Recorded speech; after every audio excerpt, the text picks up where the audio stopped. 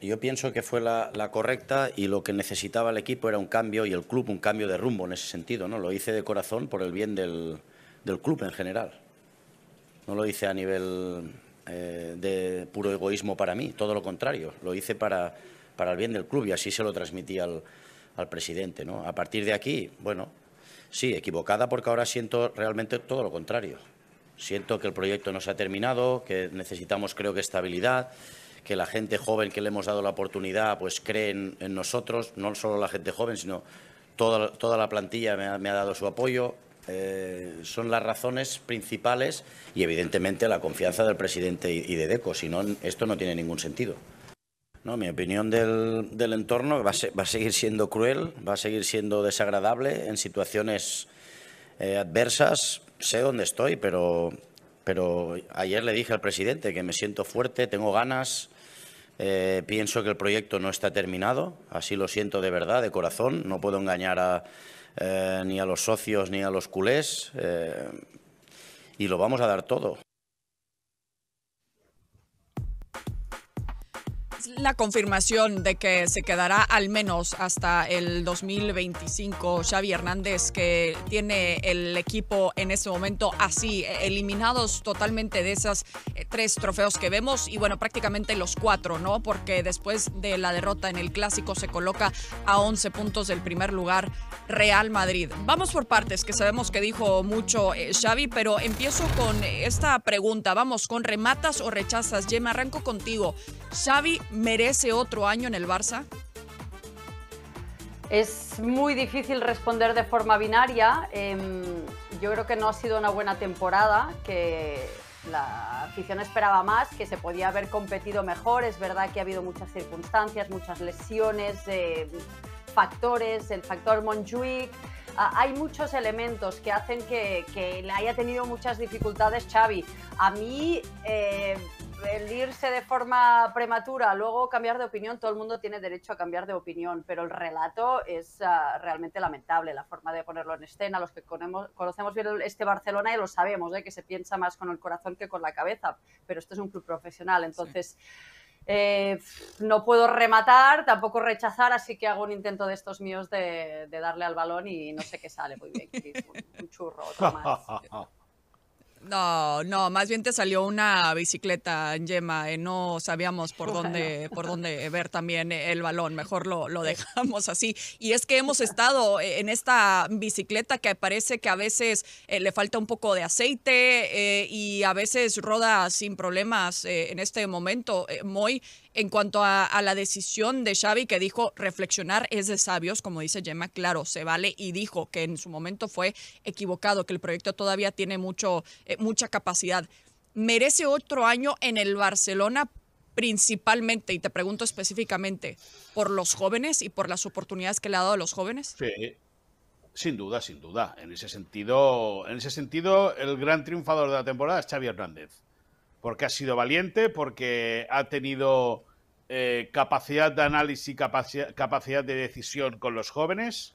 Eh, el, el, club económicamente está como está. El Barça, al igual que el resto de grandes equipos, ya no de la liga, sino del fútbol europeo, ha tenido lesiones importantes, plagas de lesiones. Tuvo que echar mano del, ya no del filial, sino del juvenil y ahí están, a la vista están los resultados. Es decir, eh, Muy, te, eh, quiero preguntar, porque hablando, hablando de eso, de, de, tirar, de tirar de los jóvenes, porque económicamente hablando, eh, Xavi decía que obviamente había gente que decía que era porque quería cobrar el último año de su contrato y que no es cierto, que no iba a aceptar ni un euro.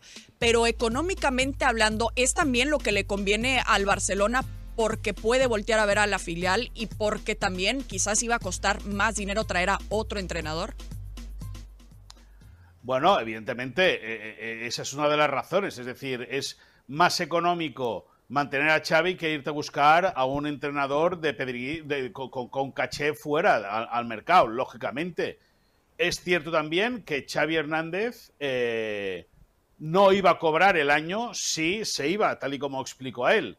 Pero, sin ninguna duda, es mucho, era, es mucho más bollante para las arcas del Barça el que continúe Xavi Hernández, el aceptar que continúe un año, que el hecho de, por ejemplo, ir a buscar a un entrenador como Hansi Flick, porque Xavi acata muchas de las necesidades que tiene el club. Vamos a ver si Laporta es capaz de encajar de aquí al 30 de junio el presupuesto que proyectó en el, o que presentó en el mes de octubre. Si es así, veremos si vende o no vende alguno de los pilares actuales, pero lógicamente si hubiese venido alguien de fuera, el acatar ganar menos dinero y el acatar que el, equipo se podía debilitar, pues serán dos eh, cuestiones muy importantes a resolver que el aporte evidentemente se ahorra teniendo a Xavi eh, de continuidad en el banquillo.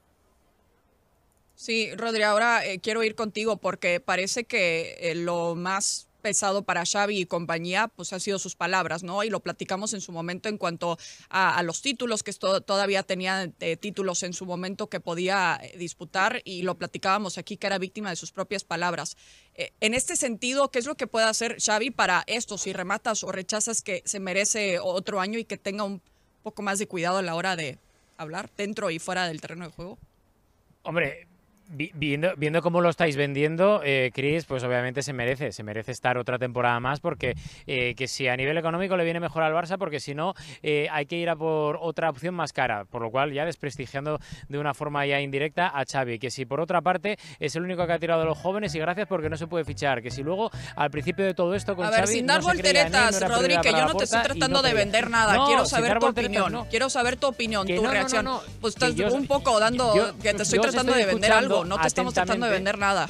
Si, me, si, me, parece bien, pero es que estando escuchando ahora mismo da la sensación de que el Barça, Xavi, etcétera, es Alicia en el País de las Maravillas y sintiéndolo mucho, no. Xavi tiene muchísimo trabajo por delante porque este año ha sido un desastre y no pasa nada por decirlo, ha sido un desastre y ahí están los resultados, ahí está lo que pasó en Si empezamos el segmento con la gráfica de todo lo que está eliminado, Rodri, y que está a 11 puntos del primer pues lugar. Nada, pues ya está. Te lo estamos poniendo acá fríamente y pues en papel. No, no, no, no, si me queréis silenciar no pasa nada, si me queréis silenciar no pasa nada. No Está te todo estoy muy silenciando, bien, pero tampoco. Espectacular. Aplauso a la porta y a todo el mundo. Oh, Jan Laporta, te queremos. Cristina, es que hoy es un día histórico. Yo entiendo que Rodrigo Fáez esté hoy especialmente excitado. es un día histórico, histórico, porque por fin parece que vamos a ver poder jugar a Ardita Guller por fin vamos a poder ver jugar a Ardita Guller. y ahí está Rodrigo Fáez para poder ver jugar Ardita Guller, el balón de oro de la Liga Española. con Arda Guller. ahora, di lo de José Lu, ahora dices lo de José Lu y ahora dices no, no, lo de Dani Ceballos, que si quieres también te lo añado, por cambiar un poco el disco, eh, por cambiar un poco el disco. No, no, no, para nada, para nada, para nada, para nada, para nada. Hoy es un día grande, hoy juega Ardita Guller, por fin cuando está todo sentenciado, entonces sale el crack turco a demostrar que será futuro balón de oro que dedicar en el turco y te tienes que basar en Arda Guller, las opciones que tiene un chaval de 18 años que estuvo a punto de jugar en el Barça y que al final se lo roba el Real Madrid. No pasa nada. En eso estamos, en eso estamos. En eso estamos. En eso mismo Es que me lo pone muy fácil. Mira, ha venido Manel incluso a aplaudir porque dice que como hoy no hay rival. Estoy feliz por ti de que te hayan mandado a ver a Ardita Guller jugar hoy. Estoy muy feliz de que te hayan ido, siendo el, presidente del altavoz mediático populista madridista y siendo el presidente del club de fans y portavoz de Ardita Guller, no te merecías nada menos que poder estar hoy viendo al gran crack Ardita Guller. Arda la camiseta, aquí, estamos, aquí estamos.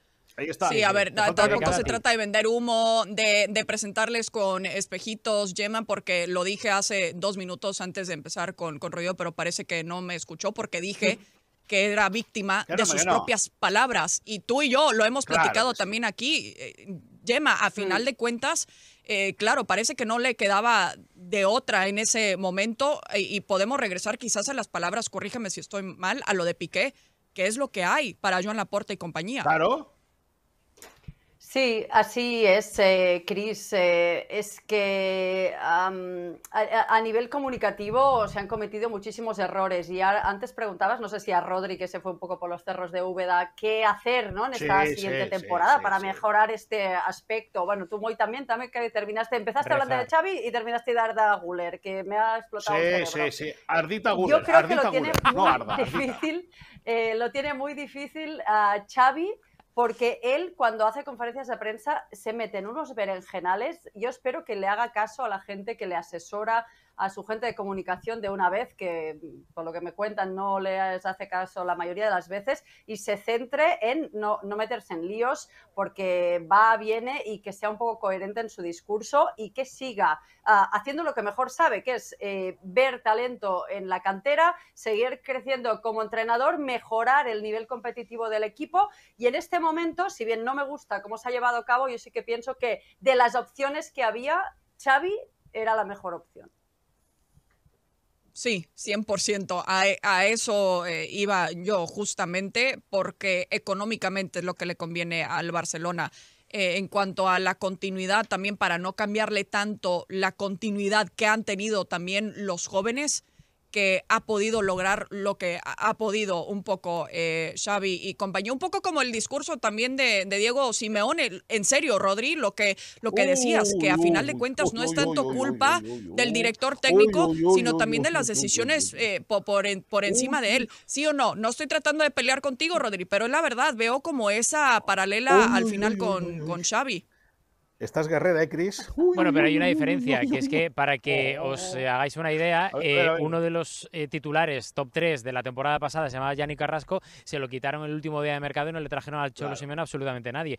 Y el tío por el cual el Atlético de Madrid más pasta pagó en su historia, se lo llevó cedido al Fútbol Club Barcelona. Son, son diferencias, no sé si las pilláis, y viendo un poco también lo que tiene, si queréis comparamos. Se va al Barça porque no lo quiere el Atlético. Araujo, con Cundé, lo que se gastó, etcétera. Lo que quieras, Moisés, lo que quieras. Estoy hablando con, con no te metas con los mayores de momento. Y si queréis comparamos con los Oyuncu, con los Galán, con los Gabriel Paulista y todas estas. Si queréis comparamos. No, no estoy comparando, estoy diciendo que hay paralelismos. Hay paralelismos. No, hay, hay paralelismos aquí a final de cuentas. Es, el portavoz, el portavoz también del Cholo Simeone, ahí lo tienen. Sí, por supuesto. Che, boludo. ¡Portavoz! No, no.